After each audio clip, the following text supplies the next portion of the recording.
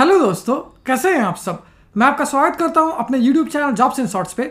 हमेशा की तरह आज मैं फिर से आपके लिए एक नई जॉब वैकेंसी की जानकारी लेकर आया हूँ दोस्तों, जो कि हमारे पास निकल कर रही है Electronics Corporation of India Limited यानी ईसीआईएल की तरफ़ से।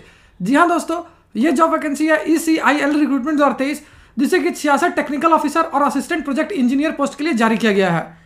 सैलरी की बात की जाए तो ये आपको छब्बीस हज़ार नौ सौ पचास रुपये से लेकर इकतीस हज़ार रुपये पर मंथ तक की मिल जाएगी।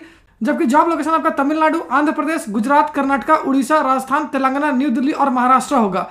वहीं अगर बात कर लेते हैं, इस फॉर्म का आवेदन करने के लिए अप्लाई मोड क्या रखा गया है तो इसे वॉक इन इंटरव्यू के थ्रू ही कंडक्ट करवाया जाएगा दोस्तों। तो आइए बिना देर के इस जॉब वैकेंसी के बारे में डिटेल में जान लेते हैं। सबसे पहले बात कर लेते हैं दोस्तों पोस्ट वाइज वैकेंसी डिटेल्स की। तो टेक्निकल ऑफिसर के लिए तैंतालीस वैकेंसी है, वही असिस्टेंट प्रोजेक्ट इंजीनियर के लिए तेईस वैकेंसी है। अगर डिस्ट्रिक्ट वाइज वैकेंसी डिटेल्स की बात करें तो मुंबई में चार वैकेंसी है नलिया और बेंगलुरु में एक एक वैकेंसी है तारापुर में चार वैकेंसी है कायगा में छह वैकेंसी है काकरापार में दो वैकेंसी है वाइजैग में दो वैकेंसी है गौरी बिदानूर में दो वैकेंसी है हैदराबाद में इक्कीस वैकेंसी है अहमदाबाद में एक वैकेंसी है न्यू दिल्ली में तेरह वैकेंसी है जबकि कोटा कलपक्कम रावत भाटा जामनगर और पारादीप में एक एक वैकेंसी है वहीं मैसूरू में दो वैकेंसी है अगर एजुकेशनल क्वालिफिकेशन की बात करें तो जिन candidates diploma BSc B या BTech in CSC IT ECE triple E and I या मैकेनिकल से कर रखा है। किसी भी रिकॉग्नाइज बोर्ड या यूनिवर्सिटी से वो सारे कैंड इसके लिए आवेदन कर पाएँगे।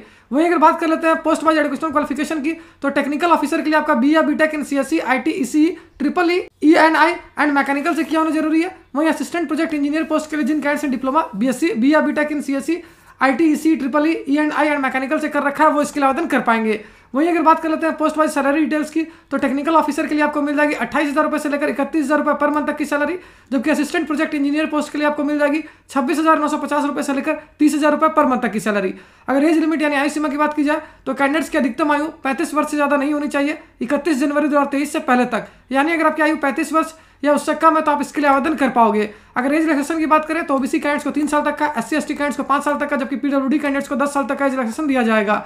एप्लीकेशन फ़ी की बात की जाए तो ये बिल्कुल फ्री ऑफ़ कॉस्ट है। वहीं अगर सिलेक्शन प्रोसेस की बात करें तो ये केवल वॉक इन इंटरव्यू पे ही डिपेंड करेगा। और अगर अंत में बात कर लेते हैं इंपॉर्टेंट डेट्स की तो इस नोटिफिकेशन को जारी किया गया था बाईस फरवरी दो को, जबकि वॉक इन डेट इंटरव्यू के लिए सात मार्च दो रखी गई है। वहीं अगर district wise interview date details की बात की जाए तो आप इस वीडियो को पास करके आसानी से स्क्रीन पर देख सकते हो। तो उम्मीद करता हूँ दोस्तों, इस शॉर्ट वीडियो में आपको इस वैकेंसी से रिलेटेड सारी जानकारी अच्छे से समझ आ गई होगी। अगर फिर भी आपको कोई डाउट है या फिर कोई क्वेश्चन है तो उससे आप हमें कमेंट सेक्शन में पूछ सकते हो। साथ ही एक और इंपॉर्टेंट बात बताऊँ दोस्तों, इस वैकेंसी से रिलेटेड जितनी भी इंपॉर्टेंट लिंक्स हैं, वो सारी आपको इस वीडियो के डिस्क्रिप्शन में मिल जाएगी। उस पर क्लिक करके आप ऑफिशियल नोटिफिकेशन भी डाउनलोड कर सकते हो और अपने फॉर्म के लिए आवेदन करना भी स्टार्ट कर सकते हो। तो फिर मिलता हूँ दोस्तों, एक नए वीडियो में एक नई जॉब वैकेंसी की जानकारी लेकर। जय हिंद।